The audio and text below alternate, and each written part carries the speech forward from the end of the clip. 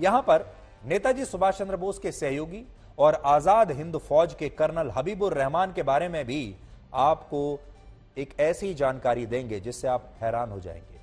नेताजी सुभाष चंद्र बोस आज की वो किसी भी सूरत सूरत में भारत की आज़ादी चाहते थे और उन्होंने कभी भी भारत के विभाजन का समर्थन नहीं किया था। तो पहली चीज़ जो आपको यहाँ समझनी है वो ये कि नेताजी सुभाष चंद्र बोस भारत की आज़ादी चाहते थे, लेकिन संयुक्त भारत की आज़ादी चाहते थे और वो विभाजन के खिलाफ थे। यानी वो नहीं चाहते थे कि भारत और पाकिस्तान का विभाजन हो, जो कि अंग्रेज़ चाहते थे। लेकिन नेताजी की मृत्यु के ठीक दो वर्षों के बाद जब भारत का बंटवारा हुआ, तब उन्हीं के सहयोगी जो विमान क्रैश के दौरान उनके साथ थे, उस विमान में मौजूद थे और ज़िंदा बच गए थे, वही कर्नल हबीबुर रहमान ने भारत की जगह पाकिस्तान में रहने का फैसला किया यानी वो भारत छोड़कर पाकिस्तान चले गए।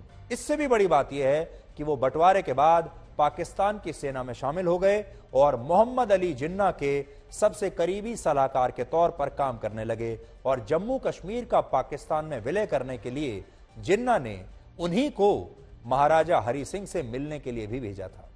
यानी सोचिए महाराजा हरि सिंह पाक, पाकिस्तान के जिन्ना ने जो कर्नल हबीबुर रहमान थे, एक समय में जो नेताजी के साथ भारत की आज़ादी के लिए संघर्ष कर रहे थे, वही बंटवारे के बाद जिन्ना के सबसे करीबी बन गए। और इसके अलावा आज किसी भी रिकॉर्ड में नेताजी के पार्थिव शरीर की कोई तस्वीर नहीं है। और इसका कारण यह है कि कर्नल हबीबुर रहमान का यह कहना था कि उन्होंने जानबूझकर नेताजी के पार्थिव शरीर की कोई तस्वीर किसी को भी लेने नहीं दी, क्योंकि मृत्यु के बाद उनका चेहरा काफ़ी फूल चुका था, काफ़ी विकृत हो चुका था और वो नहीं चाहते थे कि ये चेहरा दुनिया देखे। इसके अलावा एक पुस्तक है जो वर्ष 1978 में प्रकाशित हुई थी और इस पुस्तक का नाम है नेताजी डेड और अलाइव और इसे लिखा है समर गुहा ने जो एक बहुत मशहूर लेखक भी हैं और दो बार सांसद भी रह चुके हैं। इस पुस्तक के पेज नंबर 161 पर यह लिखा है कि कर्नल हबीबुर रहमान ने नेताजी की मृत्यु से जुड़ी जो बातें बताई बाद में, वो बातें सही नहीं थी, उनमें विरोधाभास था और इसकी वजह से उन पर कई बार सवाल उठे। मैं आज आपको पढ़कर बताना चाहता हूँ कि उस पुस्तक में क्या लिखा है और बहुत महत्वपूर्ण बातें उस पुस्तक में लिखी हैं। मैं आज उस पुस्तक की कुछ एक कॉपी में लेकर आया हूँ, जो आपको पढ़कर सुनाना चाहता हूँ।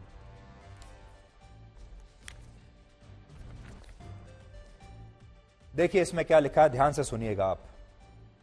Habibur Rahman said that only the upper part of Netaji's body was burn and his head suffered deep cut injury but the five Japanese यानी जो पाँच हबीबुर रहमान का कहना था कि नेताजी का जो शरीर का ऊपरी हिस्सा था, वो जल चुका था और उनके सिर पर एक डीप कट था। सिर पर गहरी चोट आई थी। लेकिन उसी विमान में जो पाँच जापानी लोग मौजूद थे। जापान सेना के जो वरिष्ठ अधिकारी थे, उनका यह कहना था his whole body was burn to grey ash colour यानी पूरी जो बॉडी थी, वो जल चुकी थी और उसका रंग जो है, वो ग्रे एश राख जैसा हो गया था।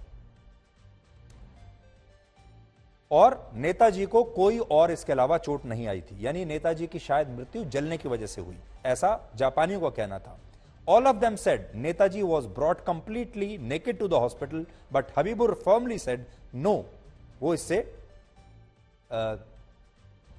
इसमें अपना मतभेद जताते हैं। ये हमारे शोध का विषय नहीं है कि नेताजी की जो बॉडी थी वो किस स्थिति में वहाँ पर लाई गई थी। इसके बाद हबीबुर रहमान का कहना है कि hospital doctor performed an operation on Netaji but the doctor himself denied it. तो हबीबुर रहमान कह रहे हैं कि उनका ऑपरेशन किया गया, सर्जरी की गई, लेकिन वो जो डॉक्टर जिसका नाम उन्होंने लिया, बाद में उस डॉक्टर ने इससे इनकार कर दिया।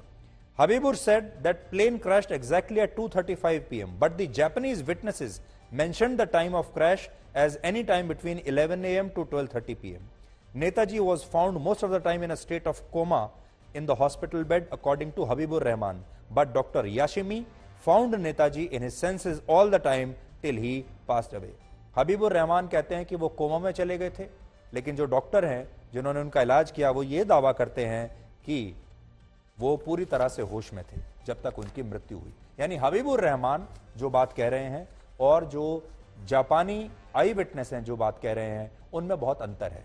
जो डॉक्टर बात कह रहे हैं, उनमें बहुत अंतर है।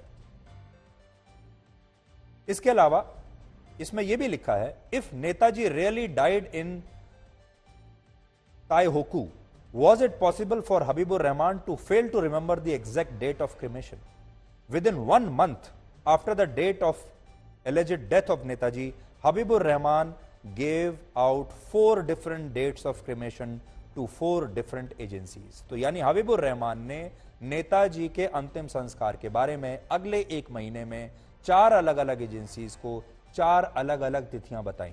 हबीबुर रहमान लगातार अपना बयान बदल रहे थे।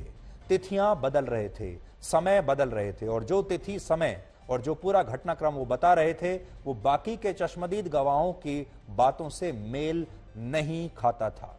हबीबुल रहमान बाद में जिन्ना के सबसे करीबी सहयोगी बन गए, पाकिस्तान चले गए और जिन्ना ने जब कश्मीर को हथियाने के लिए, कश्मीर के राजा हरी सिंह से बात करनी का जो पूरा प्रक्रिया थी वो शुरू की तो जिन्ना ने अपने प्रतिनिधि के तौर पर इसी कर्नल हबीबुर रहमान को पाकिस्तान की ओर से भेजा था। ये वो जानकारियाँ हैं जो अब तक शायद देश तक नहीं पहुँची थी। आज हम आपको बता रहे हैं।